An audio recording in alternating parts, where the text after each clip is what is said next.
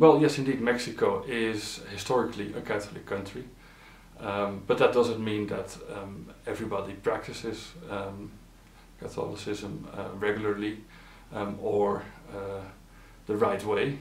Um, there is uh, a lot of syncretism um, in, in Mexico, especially in rural, rural and indigenous areas.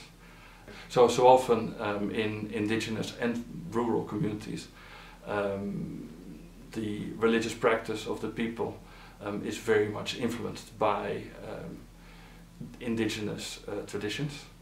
Um, and so there's really a syncretic mix between uh, some elements of uh, Catholicism and, uh, and other indigenous um, traditions and beliefs.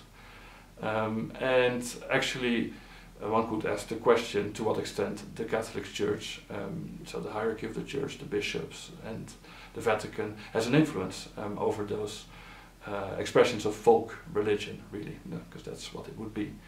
Um, and uh, what you really, what, what we observe is that in many communities, uh, the Catholic hierarchy does not have such a such a large influence. So many Protestants that suffer hostilities from those uh, groups practicing um, folk, folk religion um, tend to think that it's uh, the Catholic Church that is behind that. Um, but since the Catholic Church does not really have that much influence over those communities, um, I think that's, that's really not correct.